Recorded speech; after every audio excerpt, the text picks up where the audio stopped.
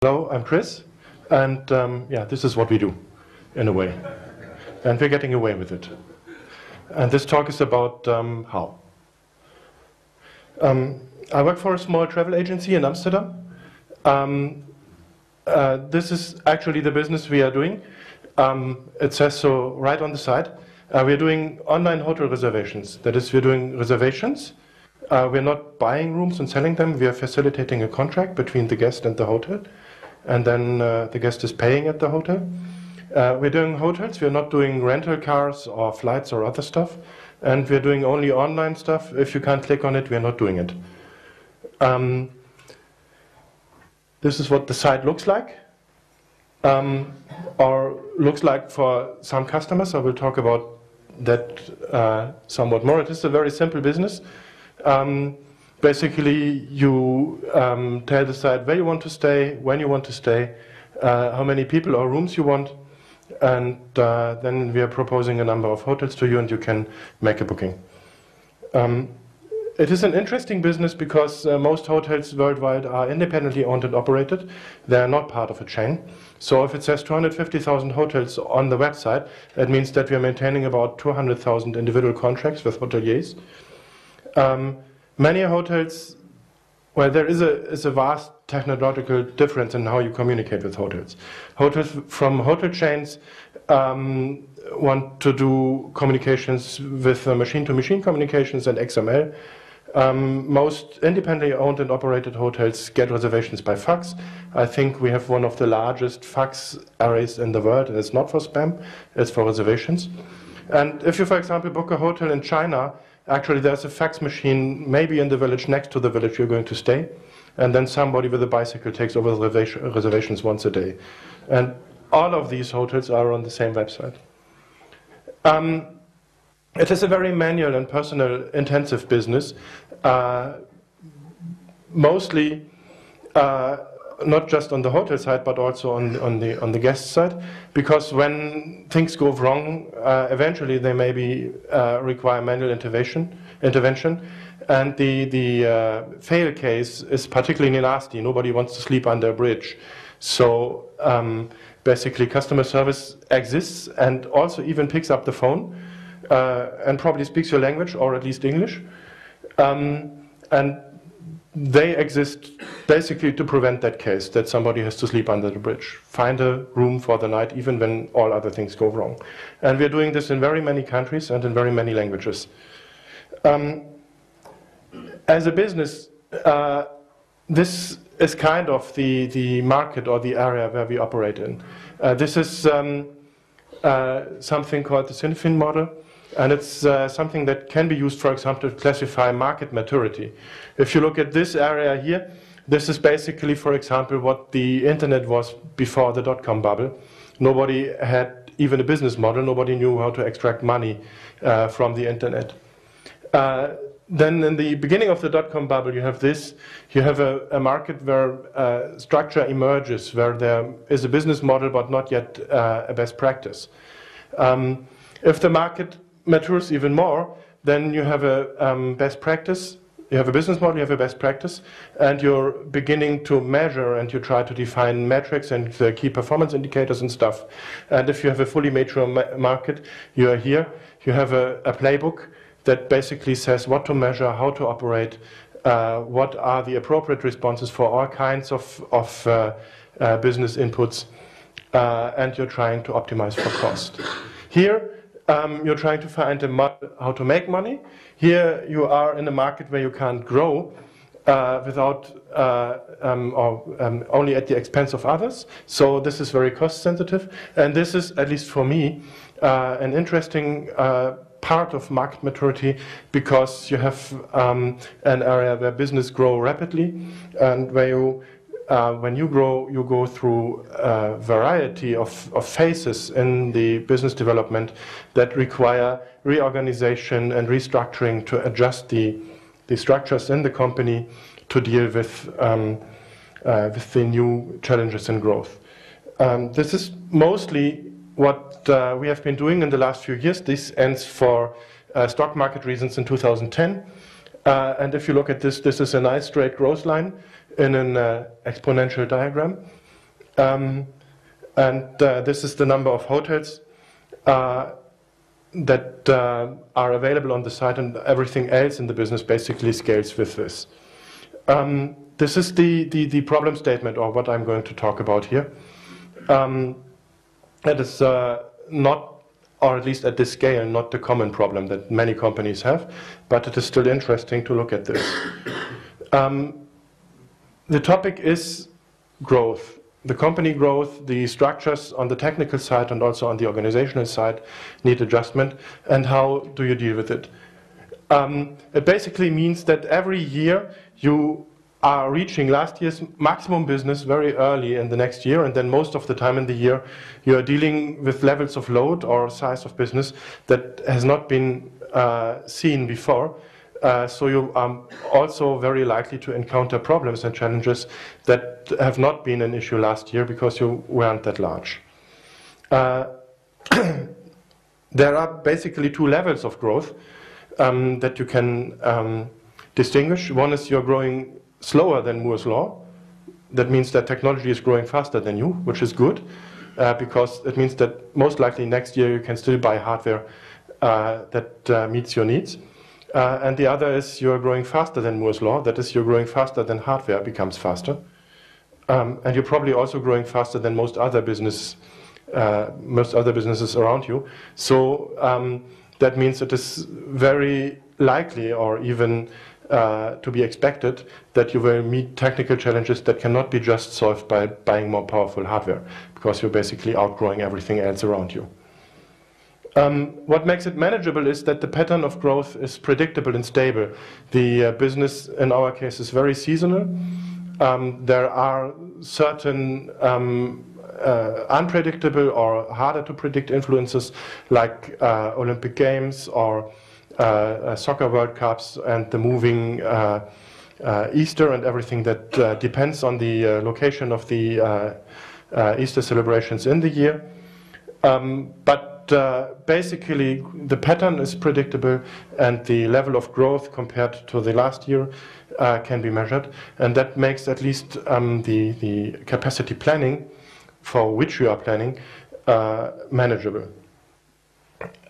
still, um, the bottlenecks you will see each year uh, are usually not predictable because if they were predictable, you would have been planning for that and been avoiding these. So, uh, what goes wrong or almost wrong every year uh, is uh, something that is pretty much out of the blue.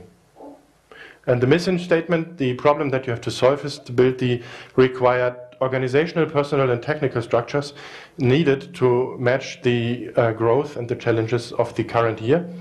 Uh, and note the order of things here. Um, technical challenges actually go last.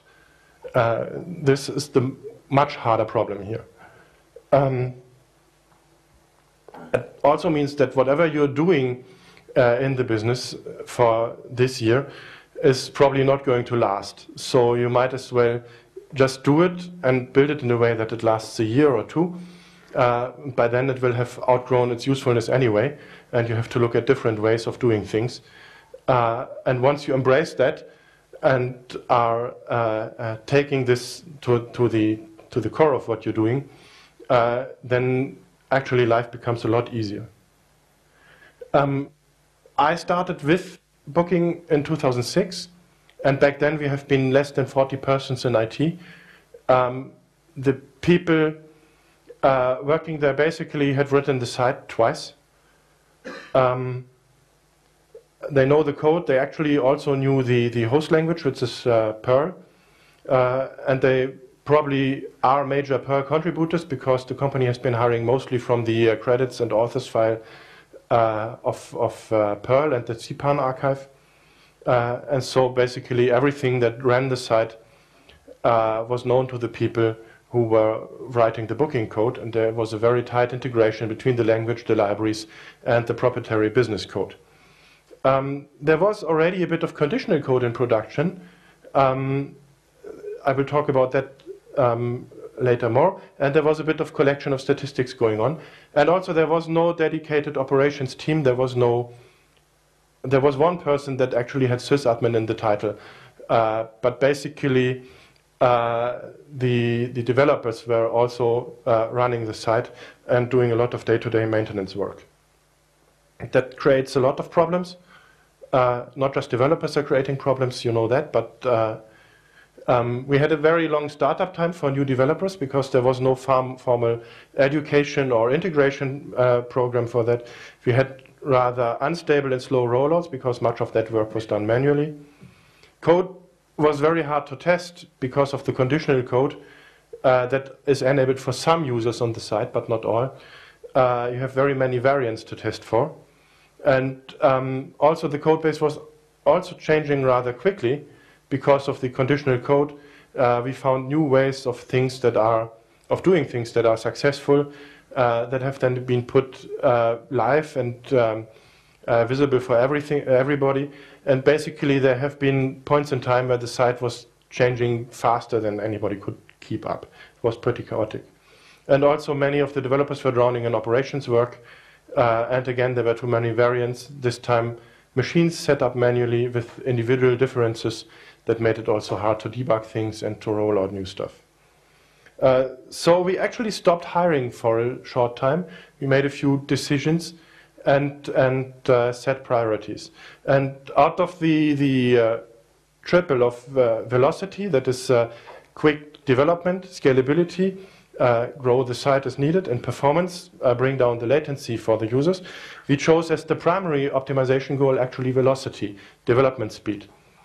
Um, we also decided that we are not going to make any changes to the site ever, and this is a really hard um, uh, uh, um, rule. We are not going to make any changes to the site ever that have not been proven to be business positive. So everything you want to put live for everybody, you need to test first, and you have to show that it actually improves uh, the business, the conversion.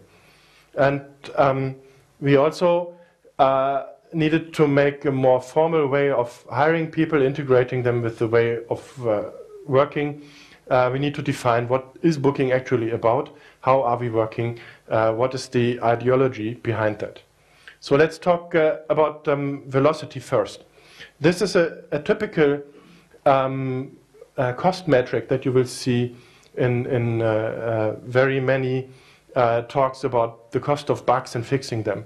Basically, if you detect a bug in the requirements and you set the costs for fixing that, bugs, that bug as, as one, then finding a bug later in the design stage is five times as expensive and so on and so on. And actually in production, um, uh, bugs or fixing them can be infinitely or prohibitively expensive so that you actually live with them and um, work around them than getting rid of them. Um, in our case, that means that we are not going to make any changes to the production site without testing them first. So we are validating the requirements uh, are they actually help improving the business? Are they improving to help the conversion? What is the cost of a new feature in terms of load or in terms of maintenance code uh, cost or in terms of uh, customer care load? Um, and uh, we then met another problem, uh, namely that very many people had interesting ideas about what is actually helpful, uh, and these ideas were not actually good. this is a hippo um, a hippo is the highest paid, highest paid person's opinion in the room. Uh, that is basically what your manager tells you to do. And we found that, that hippos are typically not right. Actually, we made experiments about that, and we found that um, hippo ideas are actually 0% better than random improvements by strangers you pick up in the, in the city center of Amsterdam. Um, that, that, is, that is why we do experiments. Because the only way to actually improve the site is to run many experiments. No matter who has the idea of an experiment, the only way to actually find out if it is a good idea is not to look at who's coming with the idea, but actually test the idea. And uh, if you want to get better at testing ideas, it means that you have to run more experiments because there is no way to actually have better ideas. You just take all the ideas and brute force it. Um, and that is what velocity is about. You roll out code as fast as possible in a controlled fashion, then check out what works, and things that work, you basically fix or re-implement or do whatever else is necessary to run them in a non-insane way. But before you actually um, uh, um, try and, and spend de real development resources on something, you have to run it first in a kind of crappy way and try if it actually does something useful for the business. Um, there are other people who have found the same thing. There is a book by a guy called Eric Ries, The Lean Startup, that is basically about this finding.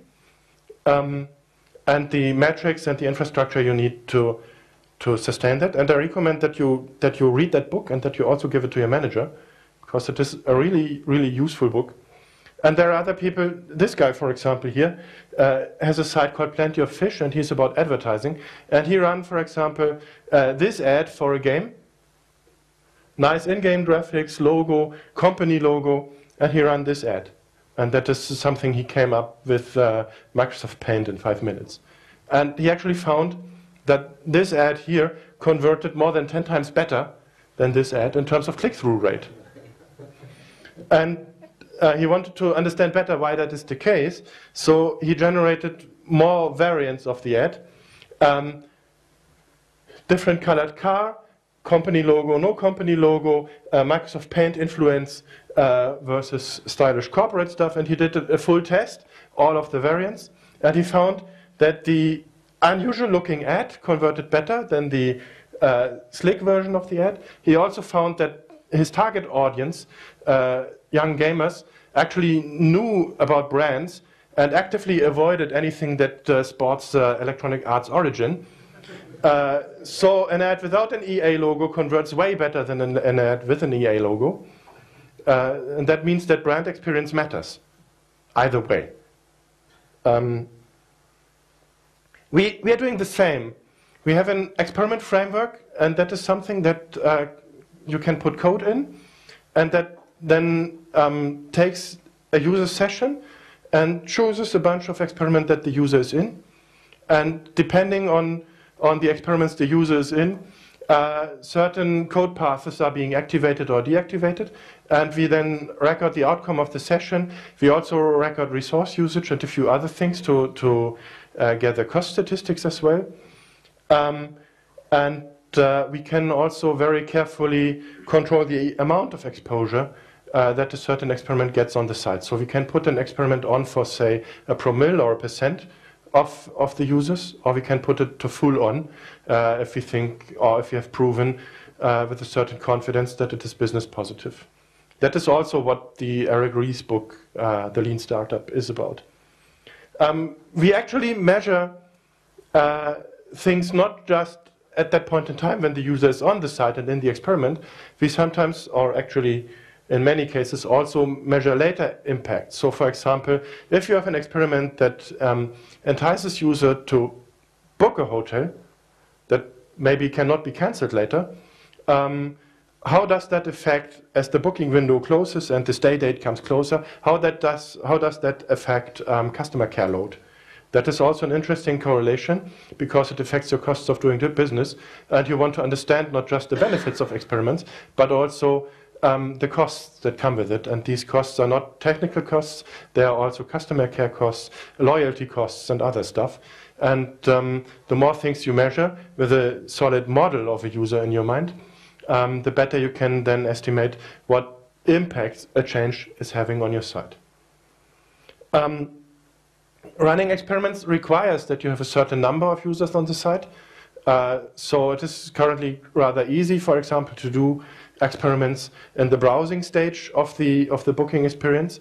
Uh, but it is harder to do it at the uh, booking stage because out of so many users, far less users book. And out of the users that have booked, even less become customer care cases. So if you're doing experiments in the, in the customer care stage, you have a, an even smaller uh, um, set of users to choose from. Uh, and that makes it harder to, to do experiments. Same thing with, uh, for example, the, uh, the mobile application um, the number of users that are booking through a smartphone and are using the booking application is far lower than the number of users on the site. So experiments do have a higher runtime. You have to have a certain size of business before you can actually start doing this in a useful way. But we are focusing on actually capturing quantitative data instead of anecdotes, and we try to, to reason about that. And key to that is really a low time to roll out. Uh, the most important thing about any idea is to roll it out first and to test it and gather quantitative data of how it performs business wise before you even care about the actual uh, cleanliness or performance or even correctness of the implementation. If you roll out often enough, uh, most bugs become pretty obvious. You're just tailing the error log. And if you put it on for, say, 1% for five minutes and you see the error log starts to move, whereas before it was quiet, you can be pretty sure that something is wrong and you just take it out uh, without actually rolling back because it's conditional code. You set the exposure to 0% and then the code is off and you can look at it and try to debug that. That's much, much easier than uh, testing. I know other earlier businesses that did similar things uh, with Freemail, for example. And uh, there it worked in the same way because just the number of users was big enough. Um, it basically means that from here to get from here to here, you have to have a, uh, an experimental implementation that uh, tells you if the requirements you have are actually doing something or they are ruining your business. Uh, if you have a successful experiment, uh, it is earning money, and normally uh, we are then looking at our um, estimated capacity at the cost of running the experiment. If the code is inefficient, it can easily cost 20 25% of performance or something. Uh, and we're building the site to have the, the necessary overcapacity to, for a short time, run an inefficient experiment. We're putting it full on, and then we're putting the performance team on it uh, that tries to optimize or um, refactor that code and make it non-nasty in some way. Uh, but because we're putting serious engineering only on experiments that are already earning money and that are proven business positive, that is actually a useful thing. So um, the performance team or any other serious engineering is never doing anything that has not been proven to actually earn the money for this kind of stuff. Um, and this gives us a lot better insight than tests because the best simulation of a real user is a real user. And um, if you build the infrastructure to, to roll out experimental code and undo bad changes very quickly without actually rolling back, just disable that, then you can afford to test with real users, at least on a website, because you control the code versions that run, you control the exposure, um, and there's a term for that, testing in production. Um, there are um, articles here by a guy working at Microsoft uh, named uh, Seth Eliot, who uh, has been trying to build a taxonomy of ways of testing in production. And in his um, taxonomy, with the experiment framework, we are decoupling deployment and activation. We're rolling out the code, but nobody enters certain code paths until we put the experiment live for a promille or a percent or full on we can ramp up the activation of certain code paths by um, selecting the number or the amount of users that get into uh, that code path. Um, and we have exposure control.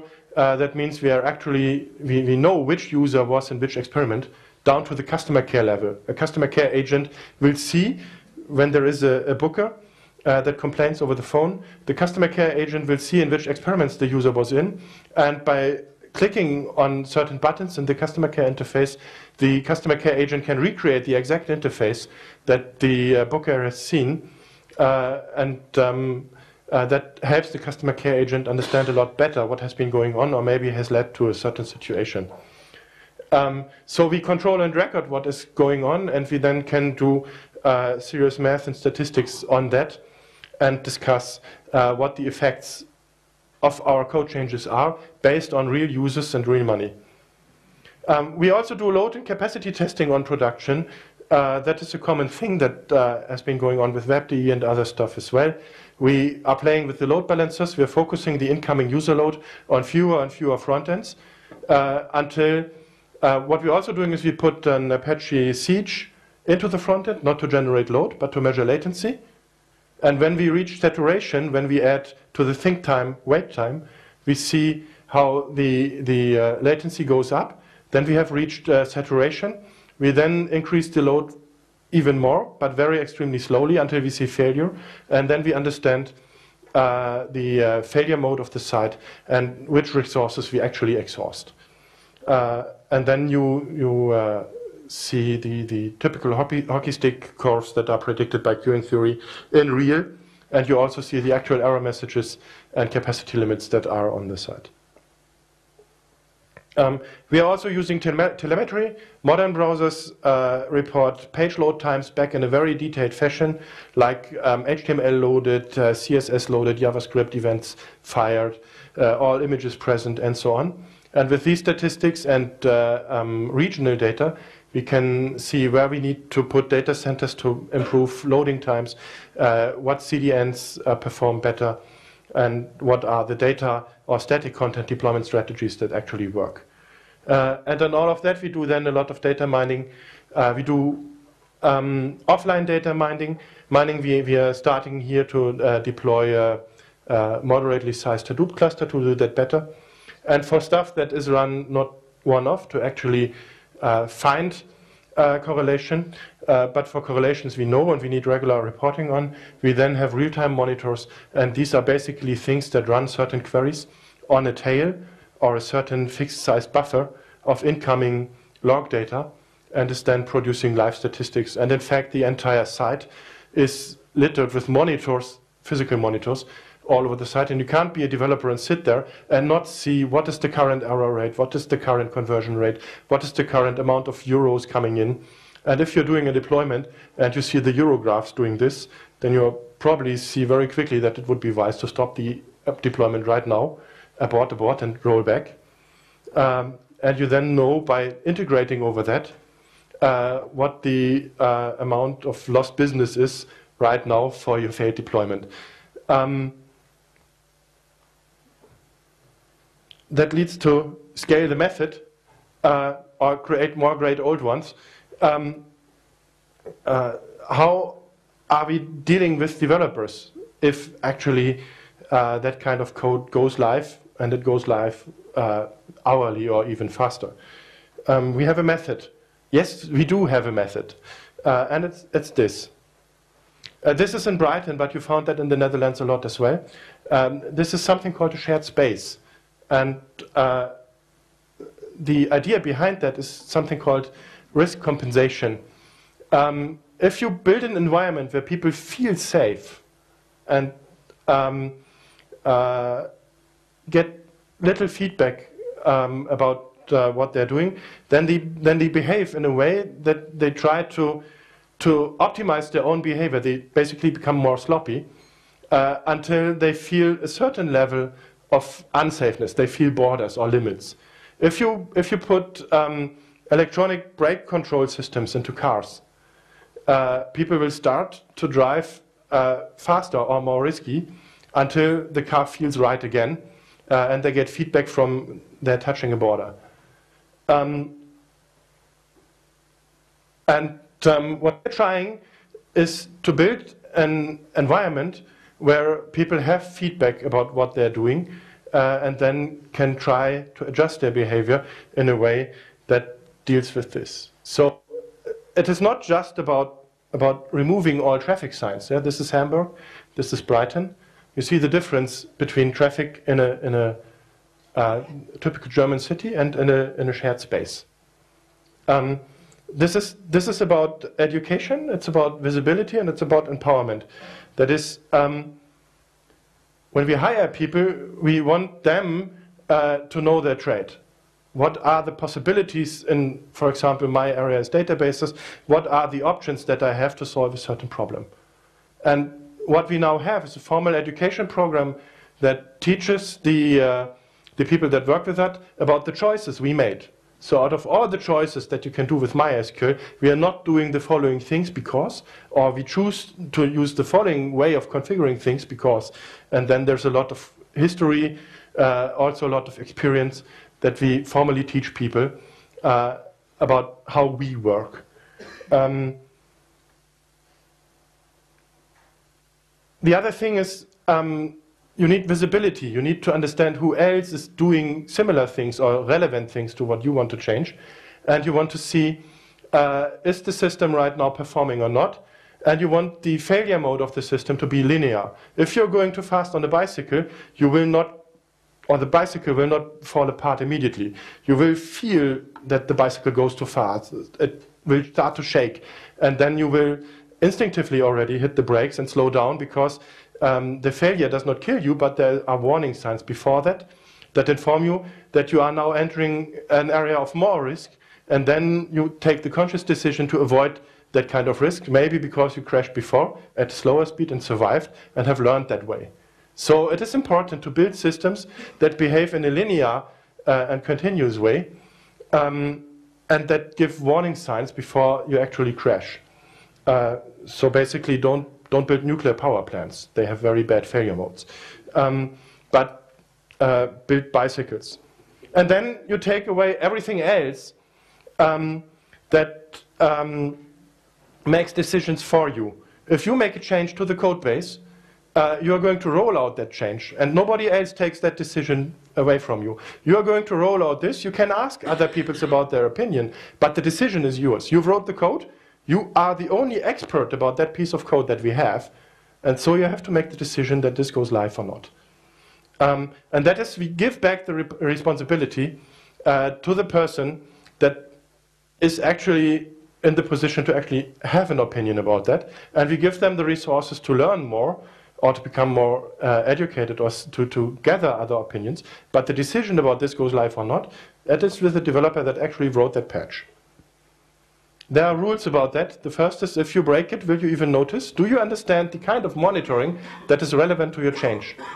Will you even notice if the site breaks because of your change? If you cannot answer that question with a resounding and sincere yes, you have no place in productions. We have a test system. Go there. We have classes. Go there. Learn stuff. Uh, but stay away from production. It's not a problem at all. We understand that people need to learn. But if you do not know the metrics for your change, you have no place in production. And then the second is about craftsmanship. If you break it, can you fix it? If you can't fix it, who needs to be present to help you in fixing this? So if you're doing a rollout, get the necessary expertise uh, within reach before you're actually doing this.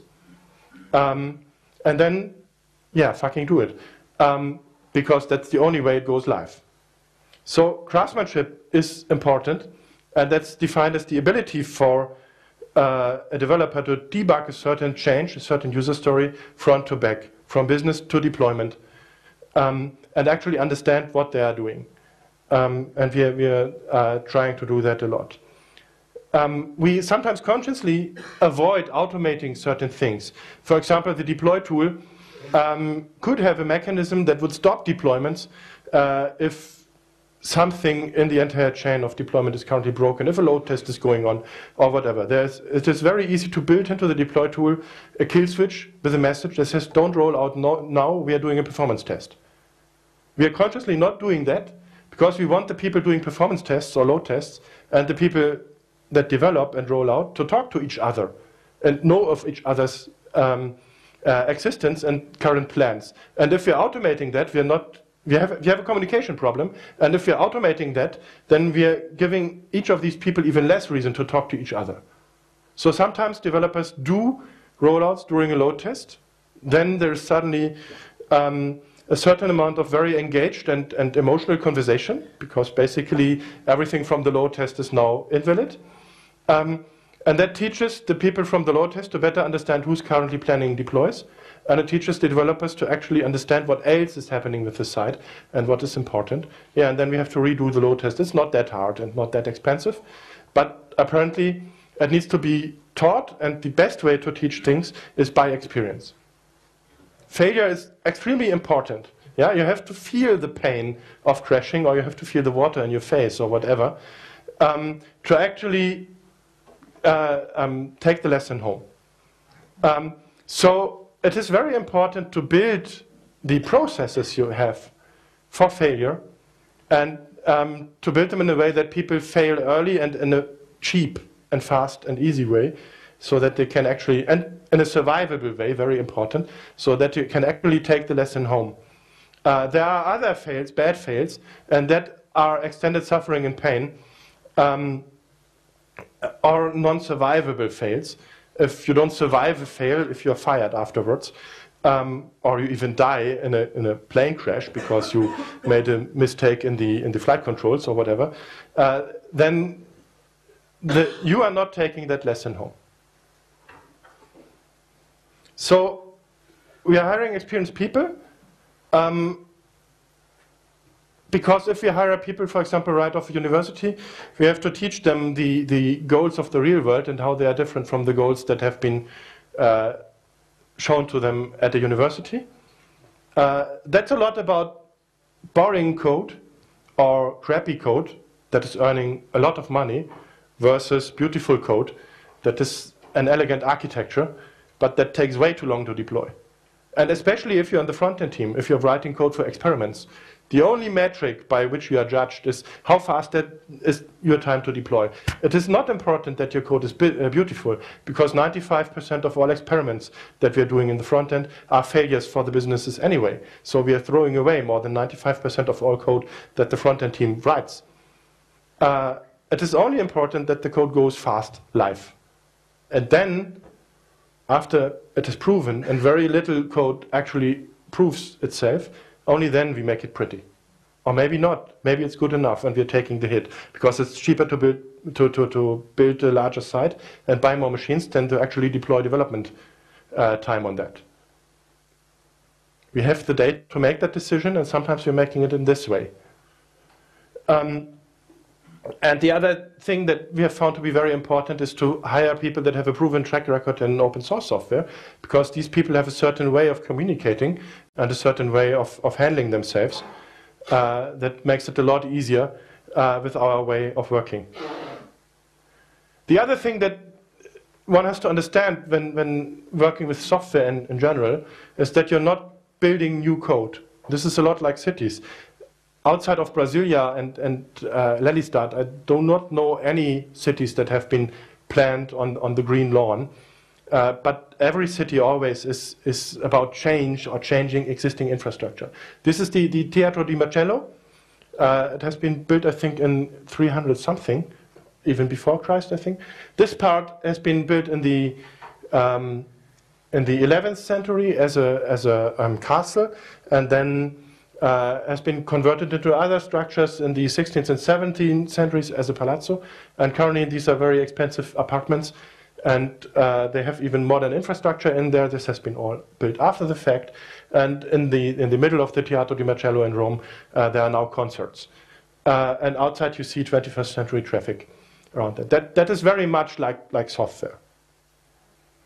Um, so Code is usually not written newly, it is changed to adjust to new requirements. On the other hand, we, for example, have a lot of code that never sees any exposure after the experimental stage because it is just proven bad for the business. So we try that out and we throw it away.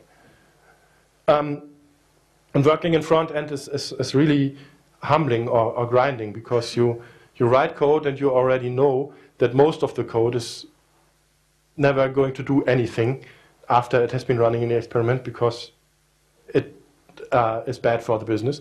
You just don't know which code, and that is the, the thing we are after. We are doing experimentation, we are doing testing and production, we are doing shared spaces, and shared spaces is not just take away all the traffic signs, it is also uh, teach people how to deal with this and give them visibility to see what goes on and to understand which people to talk to, and then build a culture of failure uh, that is uh, build a culture that allows people to fail fast and easy and in a survivable way. Build your technology that way, build your uh, educate your people that way, and build an organization that uh, rewards clean and good failure, and uh, takes away uh, clearly stated learnings from any and each and any failure. Um, the DevOps uh, message from this is, is, of course, kill all the sysadmins. Uh, the, the term bastard operator from hell is, is, is very poisonous in this context. Because um, if you want this culture of failure to actually work, you need to talk to people from the business requirements side, all the way through the development process to the uh, deployment process, and that requires a lot of cooperation and communication. And if you uh, are an bastard operator from hell mindset, you will simply fail very badly in this environment, and you will take a lot of people with you. Um, what you have instead is an infrastructure developer. So uh, not somebody who actually goes to a box and configures code, but somebody who writes Puppet recipes or who writes uh, deploy tools or who writes monitoring tools and then automatically deploys that on a very large number of boxes. Basically, um, if you have to actually log into a box, you're doing something wrong. You're committing a change, it's being deployed. If you ever have to go to a box to change something, you're doing something extremely wrong uh, because it means that your deployment mechanism is broken. If you actually have to go a box to read something or look something up, that means maybe that your log collection or monitoring is uh, not up to the task and needs improvement. If you ever have to log into a box, you're doing it wrong. Um, and then there is the in-house operations expert, maybe a DBA or something. That is somebody who has a lot of specialized knowledge about a certain component, like the database, and that supports developers well before and after failure. So the uh, operations expert can tell developers, if you're doing this, it will likely break that way. Or, yeah, you did it this way. Now it's broken. Come, let's fix it. And again, you broke it. Now it's your problem. The, the uh, BOFH mentality does completely not work here. The infrastructure developer uh, is the opposite of a feature developer. The feature developer um, makes new stuff, breaks the site in new and interesting ways. The infrastructure developer is not measured by successes, they are measured by their failures.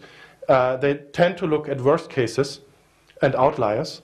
So they don't look at new stuff, they look at, at how can we kill bad stuff, how can we uh, um, kill bad slow queries, how can we kill uh, um, cases where we have abysmal performance or um, not typical performance. How can we make everything more smooth and how can we make everything work at, say, 10 times the scale? So how do we have to change everything to make it work at a larger scale? How do we do things with zero manual interaction? If you need to channel stuff through a uh, sysadmin or um, other person, you're basically serializing things. If you have a change and that can be applied with zero manual interactions, that's the important thing, because then it can be done in parallel. And that's the only thing that scales. Um, and that means that the mindset of an infrastructure developer differs a lot from the feature developer. I, from the infrastructure point of view, I tend to compare feature developers like, like uh, with Teletubbies. Oh, you made a change and it's shiny, new feature. Great, well done. Uh, and an infrastructure developer is, is more like, like a marine. They go in and they leave nobody behind and then they exfiltrate and do the next uh, thing. It's a, it's a completely different mindset, and it actually works with a different method. Feature developers can work time boxed. Every three whatevers, there is a release, three hours, three days, three weeks, three months. And anything that is not fi uh, finished within the time box uh, gets pushed back on, onto the backlog, and it's maybe done in the next cycle.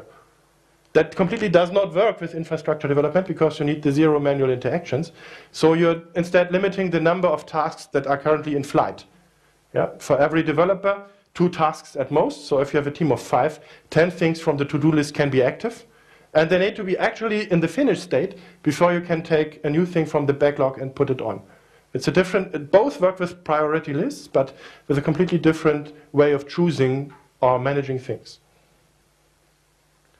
Um, we have that a lot. Everybody works with priority lists, uh, but the feature devs, they work um, with the, the time box system.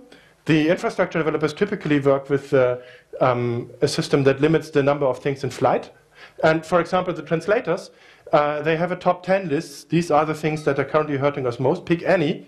And when they take something off the list, something else with a lower priority goes higher instead. That is firefighting. That is because there are never enough translators anyway, uh, and everything is already burning all of the time. So what is currently hurting us most, fix that, any of that.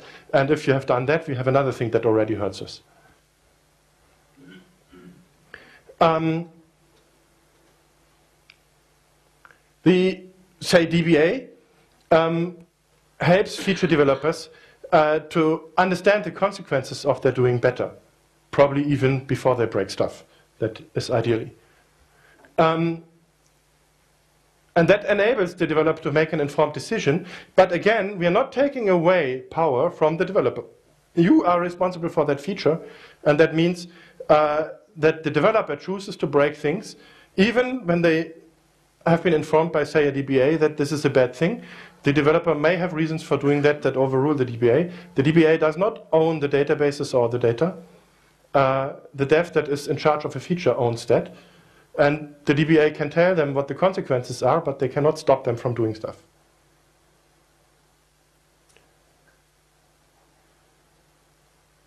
There is a cost with this, of course. Um, because we depend on testing on production, it means that the changes we do to production need to be so small that we can actually, when something breaks, look at the diff, and the diff must be small enough. If we do not, not roll out for a certain amount of time, we have a very, very hard time to get back on track. Basically, um, if you even have to use git bisect to understand where the bug is, uh, then you have not been rolling out often enough. If you um, uh, are using branches, that is a mechanism for, uh, for accumulating large diffs, uh, it will not work with this model. So, so fast rollouts work with write code, see if it compiles, and then push it out to, to head and roll it out.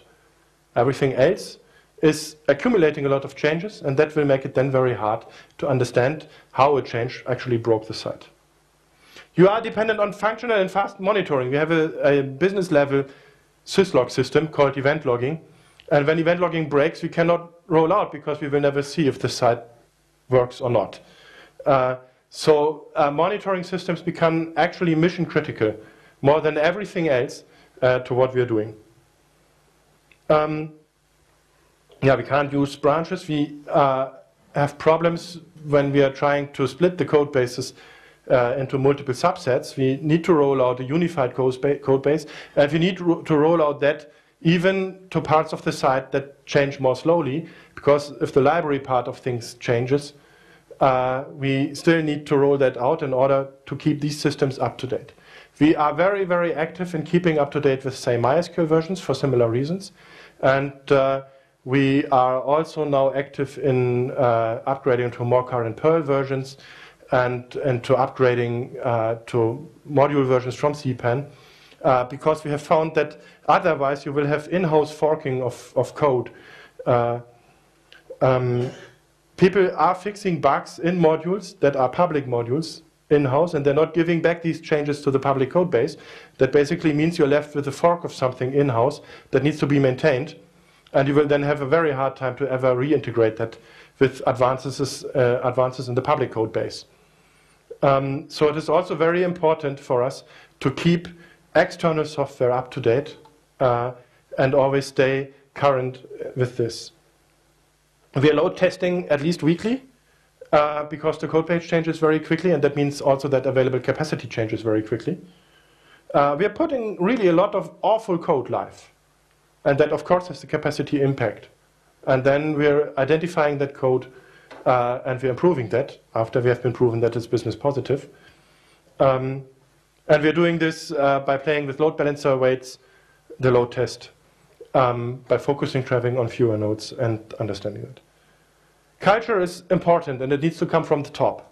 And it is not literally what I have heard, but it is basically uh, what I have heard over lunch. Kees, uh, the CEO, has been sitting uh, at lunch with a few people and there was a new developer and it came down to, to, basically that exchange. Have you broken the site already? How long have you been here? Yeah, three weeks. Have you been broken the site already? No. And what am I paying you for? yeah, um, that that is uh, that is. We have a budget for breaking the site.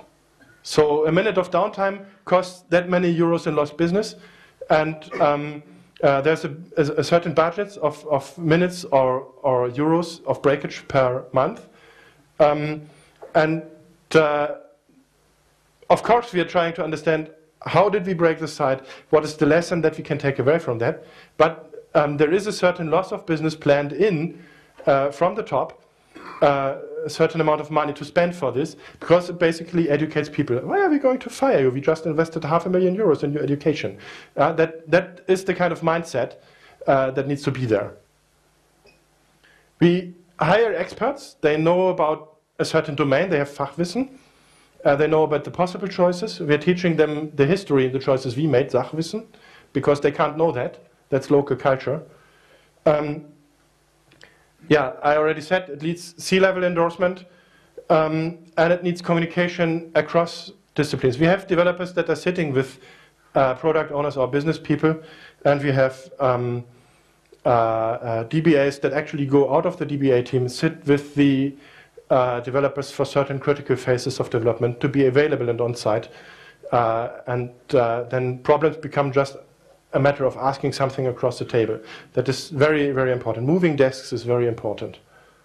Um, and we're never giving the choice back. You, if you want to change something, you have to decide this is good. Uh, you can get counseling or other opinions, but the decision is always the decision of the guy who made the, uh, the, the change. Um, because they are the only expert we have. And that avoids risk compensation. That makes people understand that, well, um, if you are doing this now and you fuck it up, it will be on, say, Heise News Ticker or Handelsblatt or uh, whatever, if it's a large downtime. And that tends to make people aware of what they are doing and that it has co consequences. And that gets people interested in how do things work and how do they interact with things. Or basically, um, DevOps is magic because if you treat responsible adult experts as responsible adult experts, they will actually behave like that. And not like little children that need constant supervision. Um, that, is, that is the core message, basically, to take away from this. So we're doing very many small projects. We are doing very fast feedback loops. Front end sometimes has a cycle time of less than three hours. That is way too fast for Scrum. Um, from a PO or somebody has an idea, let's put it live. Um, and they typically have a cycle time of days, not weeks, for stuff. Uh, I work on the other hand of the spectrum. I work in the uh, infrastructure and scalability uh, uh area of things. So my task is to look at the next year and what do we need to provision and to make to scale the organization, to teach the people, and to change the technology. Uh, so I'm of very few people who have a scope of, say, a year or so. And um, most of the, of the company, at least in IT, is, is on a much, much, much faster track. Um, and in order to make it work, you actually have to move desks. You have to work with all the people in a very tightly coupled team to make the transaction costs, to make the, the costs of clearing up questions very, very low. The primary goal is velocity. We do scalability, we do security, we do um, uh, um, performance, uh, but they are secondary goals. The goal we optimize for is velocity. Um, we roll out a lot of extremely badly written, crappy, imperformant, ugly code schema designs, or we break internal rules, whatever. And that's just the way it is. You have to deal with that. Not all people can do it. And we, I have seen people quit over this yeah, because they cannot stand as a DBA deploying a schema like that. That's just wrong. Yeah, but it gets the, the job done to actually capture the data, and we can do it properly afterwards. But most likely, we are not going to do it at all because the experiment has a 90% probability of being a failure anyway. And it's not worth even spending five minutes of thinking about making it pretty unless you know that it's actually earning money. Some people can't work that way, and then they can't work uh, at booking. Should you do that?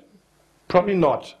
There are a lot of things here that uh, enable us to do it, and any one of that can make it uh, a deal breaker for you. We are mostly a website still. Uh, that is, we control the rollout, we control the, the version that is running at any minute. We even build the thing open source front to back from the network drivers to our own code. So um, we can debug really uh, anything with a deep dive. We usually don't have to do that. But if anything isn't working, we can go from the business side of things through all the Perl layers, through the Apache layer, through the Linux kernel layer, through the network drivers, uh, and debug that. Um, we are a high growth environment, which means that code that runs with us has a finite lifetime anyway. I think we have currently a time to duplication of 15 months or so.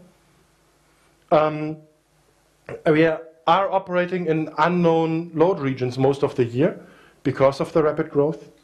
And it also means that we are not believers of the cult of efficiency because we're currently not in an area of the Cynefin model that is cost sensitive. Uh, in fact, Slack is good because if you're in a rapid growth environment, Slack or baby fat is a buffer that, um, that buffers away growth peaks or unexpected load or unexpected um, uh, loss of site capacity um, because uh, it, yeah, if you, if you actually tune everything for maximum performance, it means you have no buffer. You're always running at the limit. And if then something unexpected happens, it basically means that you break the site.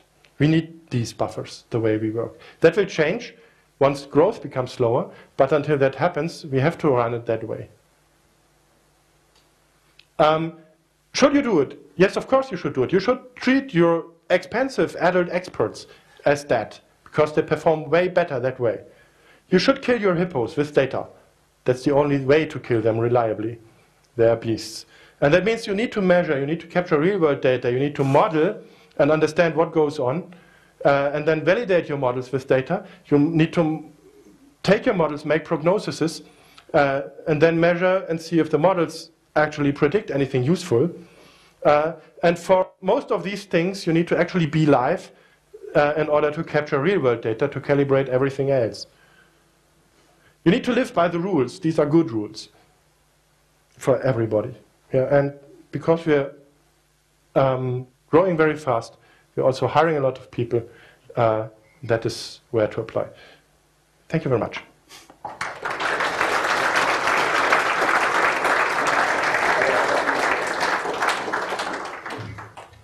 Questions? Is this thing on? No. No? But now. So questions? How do you deal with, uh, deal with configuration changes? How do, the question was how do you how do you deal with configuration changes? And um, we're dealing it a, with it in a very traditional way. Even back in olden times when I still was working with, with WebDE, we did it that way.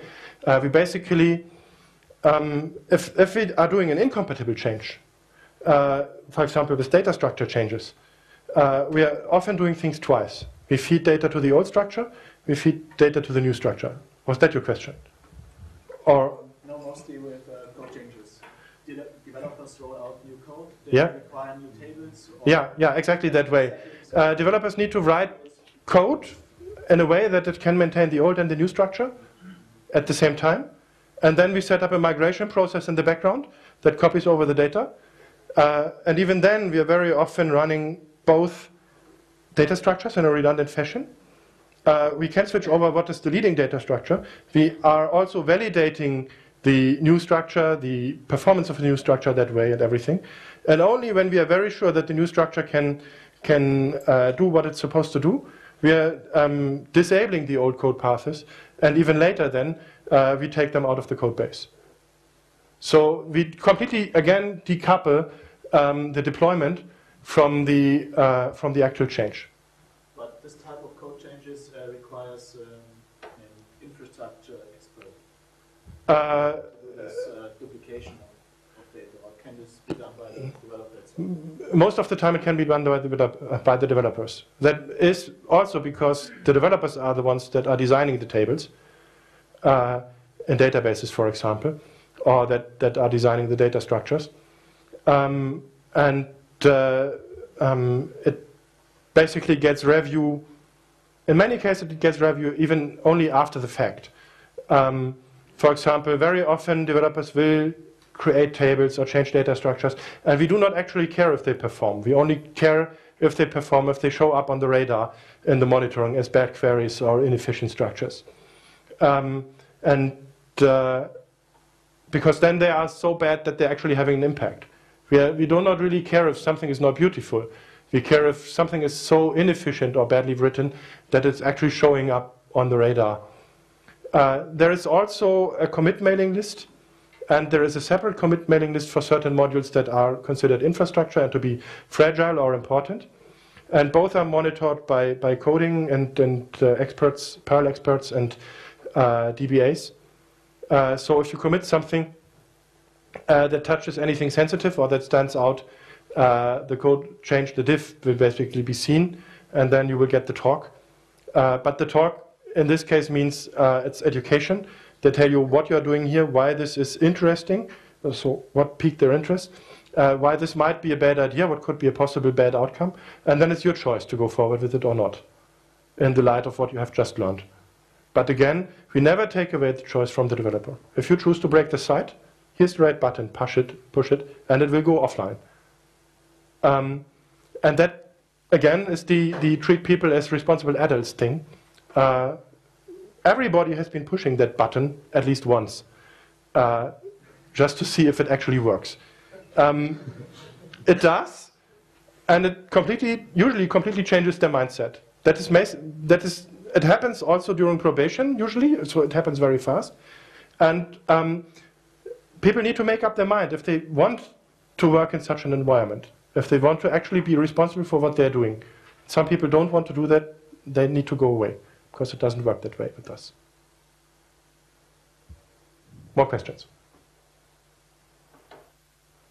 If you roll out a new feature and uh, it breaks something um, on, and triggers an error in a rollout from maybe half a year back, which is more likely to fix the new one with a workaround or the old code?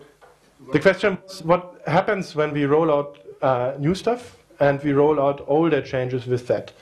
Uh, and you specifically said half a year. We are very actively trying to avoid that. We need to roll out fast. We are completely dependent on uh, changes from one rollout to the next to be very small, uh, to make it easy to debug and for the code to be um, uh, relatively fresh. We also require for a rollout that everybody who has a patch in a diff that goes live is present during the rollout. So um, if your code is part of a rollout, uh, you have to be online on a, on a um, production Jabber channel uh, for emergency calls uh, before the thing can go live, basically. It's the same thing that Facebook does, uh, and it works very well.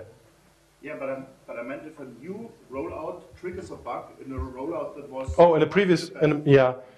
Do you make the new code to work around the old bug, or are you trying to fix the old bug? Uh, the first thing that we do is actually we roll back. We can do that in eight seconds. Uh, because the old code base is still present and we just have to change the, the, the pointers and then uh, uh, we have to repoint plug to, to start the new um, uh, daemons, the new worker daemons on, on the old code base and then everything will be as before. And then we make decisions and that is then done without time pressure. We also decouple activation from deployment. As the bug you have is not the compilation problem, the code will be rolled out, but it will be inactive. And then the exposure control from the experiment framework says, give it a promille and see if the error log moves. And that way we don't even have to roll back, we just turn it off again. Uh, and that, that single thing, uh, separating deployment from activation, is a very extremely powerful feature that I can only recommend to everyone because it takes away the stress of a deployment completely, and it gives you much more control about uh, how to break things and how hard to break things. You can make a lot better informed and a lot more controlled decisions that way. And then you can take the actual decision-making process offline, out of the deployment process, and make it without any stress, with looking at the diffs, with looking at the problem, uh, and, and coming up with better strategies. But separating activation from deployment, that's I think, a key learning here and a thing that a lot more people should be doing. Okay, then I would break it because then another one has five minutes to be prepared yeah. for the next talk. Thank you very much for the great opening. Thank you very much.